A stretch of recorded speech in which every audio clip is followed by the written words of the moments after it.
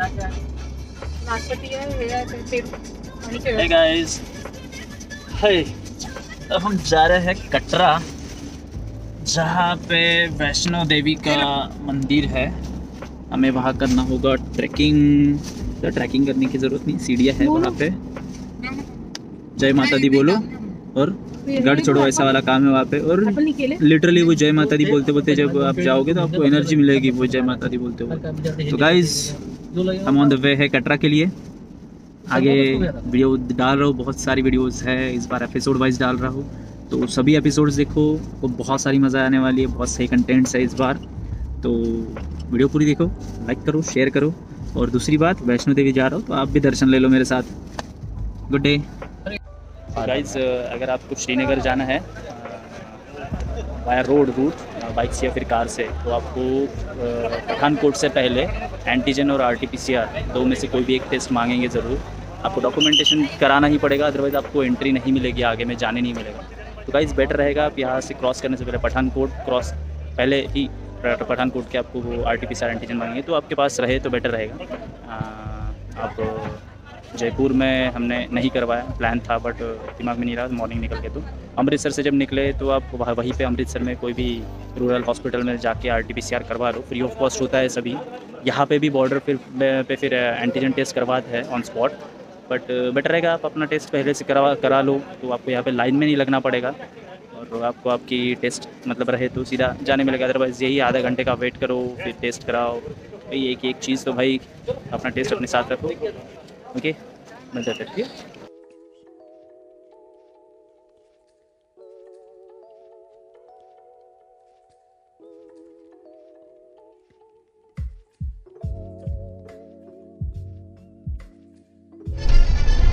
हमारे साथ में दूसरे ट्रैवल ब्लॉगर हमारे दूसरे ट्रैवल ब्लॉगर का वीडियो देखिए। और ये गाइस चल रहा है आईफोन पे video record This is so so amazing.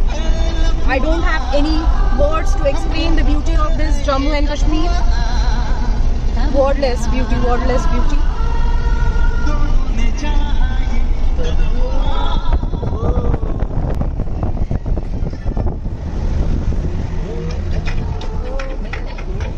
So guys हम फिर से इस रोड पे है और look at the view this is awesome हम अभी वहाँ से आए हुए वहाँ से। और ऐसा ये रास्ता घूम के यहाँ से क्या? फिर वहाँ से घूम के, इधर से घूम के, इधर से घूम के हमें पूरा दुनिया घुमा रहा है। सो so गाइज़ ये रास्ता बहुत ही बढ़िया है। Look at the greenery look at the nature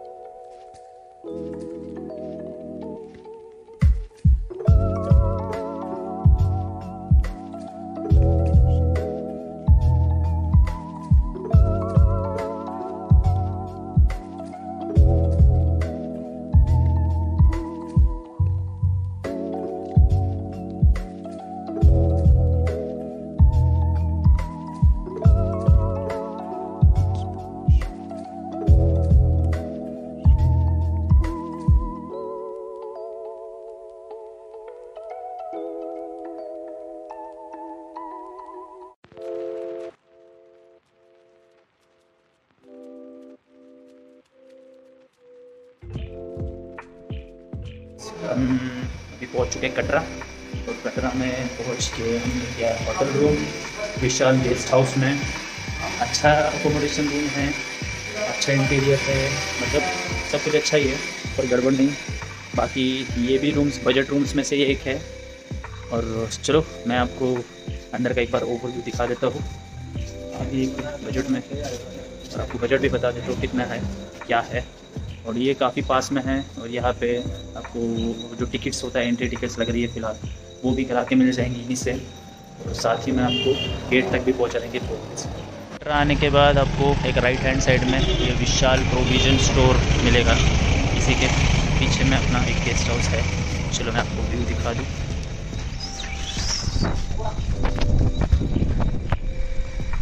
Vishal guest house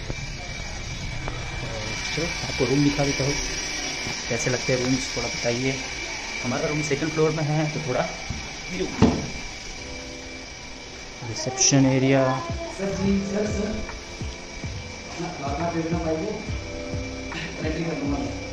इनको आधार कार्ड दे देना और एंट्री कराना।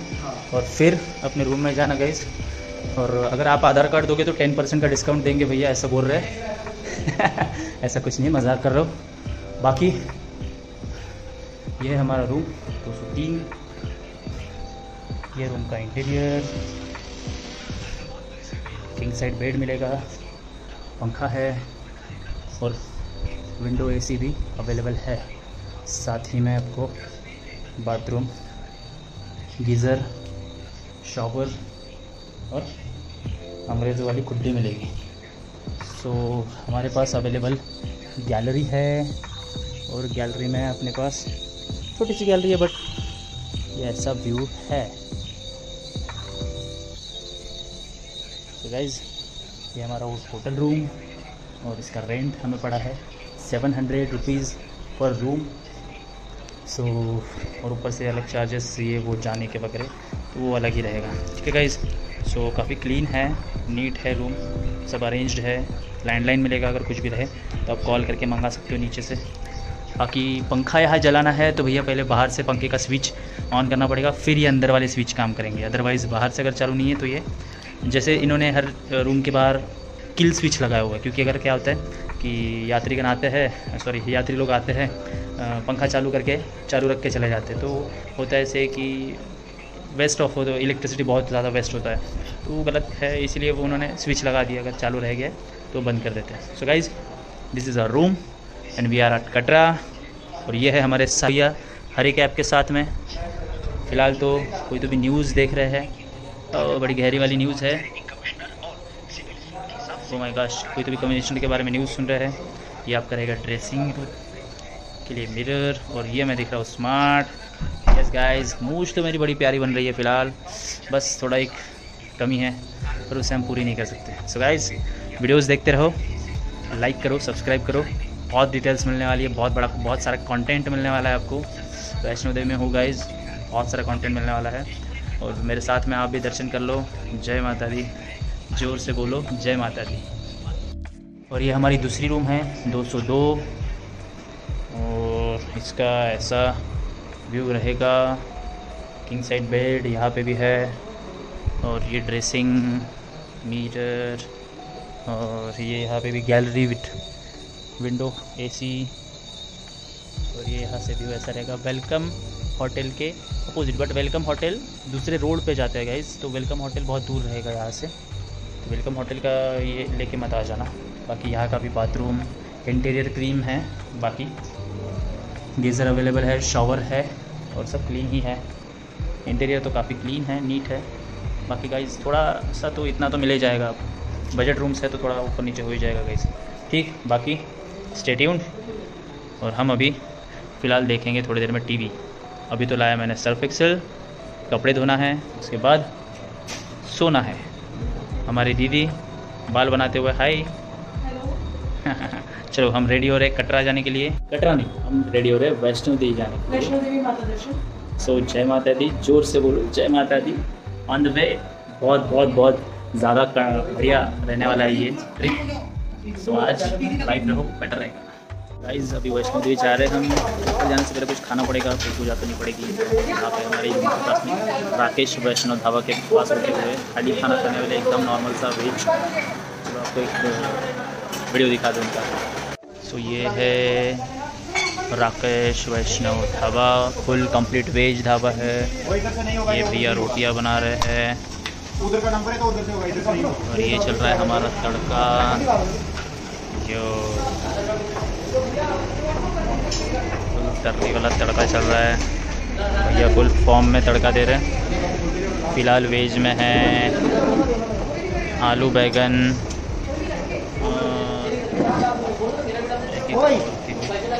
क्या चाहिए? दाल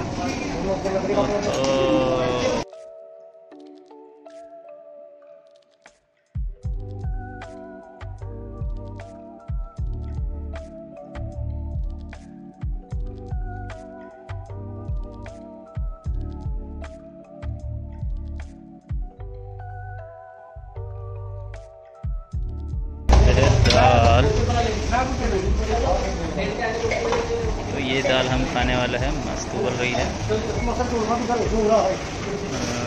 ये हमारी रोटियाँ बन रही है। गेहूँ की रोटियाँ, गेहूँ के आटे वाली। बाकी मुझे ये फ्लेम्स बहुत ज़्यादा पसंद आएगा इस। एक स्लो में दे दूँ। तो ये छोटा सा ढाबा है, दो तीन बेड्स का सॉरी दो तीन टेबल्स का। बट गाइज़ बहुत अच्छा मज़ा आएगा। मैं आपको एक रिव्यू दे देता हूँ खाने का। गाइज़ अभी हम वेट कर रहे हैं फ़िलहाल खाने के लिए। ये हमारी थाली आ गई है। सब्ज़ी आनी बाकी है। तो टेबल पे बैठते हैं और देखते हैं खाना कैसा है। हमारे अखिल भैया का कहना है कि गरम गरम खाने में और बहुत मज़ा आने वाला है। तो हम भी खाएँगे गरम गरम खाना। और प्याज, सब्ज़ी आनी बाकी है। देखते हैं। दे दो अचार अचार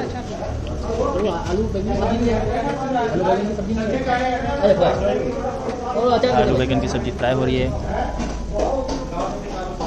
अचार आलू बैगन की सब्ज़ी फ्राई हो रही है। दाल के साथ ही चालू करते हैं खाना। और हम्म, यम्मी। और ये आ रही है आलू गोभी की सब्ज़ी, जो मैं बिल्कुल नहीं खाता हूँ सॉरी गाइस बट मैं आलू गोभी के सब्ज़ी का रिव्यू आपको नहीं दे पाऊँगा, क्योंकि मैं हाँ सॉरी आलू बैगन, क्योंकि मैं बैगन नहीं खाता हूँ। मुझे रिएक्शंस होते हैं बैगन खाने के बाद सो उसका रिव्यू नहीं मिल पाएगा बट उसका रिव्यू हम किस तरह से जानते हैं। चाहिए आलू गोभी की भाजी कैसी है? आलू बैगन की सब्ज़ी बहुत टेस्टी है, बोल रहे हैं। टेस्ट अभी मैं तो खा रहा हूँ। दाल के साथ में। चलेगा दाल के साथ बहुत टेस्टी है। दे दो। और ये?